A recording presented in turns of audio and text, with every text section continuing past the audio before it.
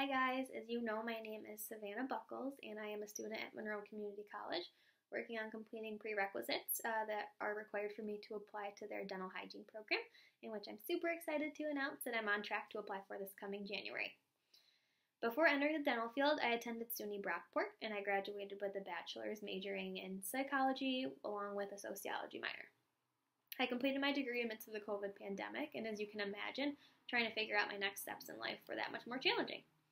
That is until I heard about a dental assisting opportunity working for an unbelievable practice that's been a part of my life for about 18 years now.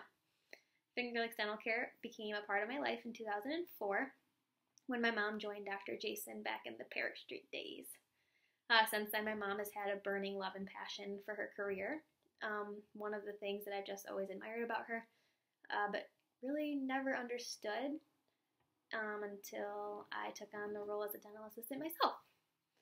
One year ago today, I found my passion to help others achieve the smile that they've always wanted and to give them confidence, to give them an experience in a dental office like no other, and to provide top notch compassion and care, and most importantly, to earn their trust.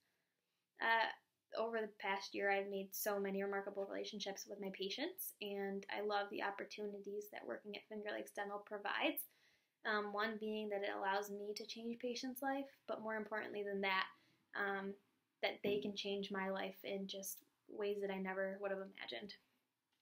Um, I'm now in the early phases of a new journey, working my way to become a dental hygienist, and I'm so beyond excited to take on a new role in the dental field and can't wait until the day comes that I can join our amazing hygiene team at FLDC. Um, if I'm rewarded with this scholarship, it will be put directly towards my next semester, um, as I'm only three prereqs away from being able to um, be eligible for the hygiene program. Thank you guys for your time and consideration.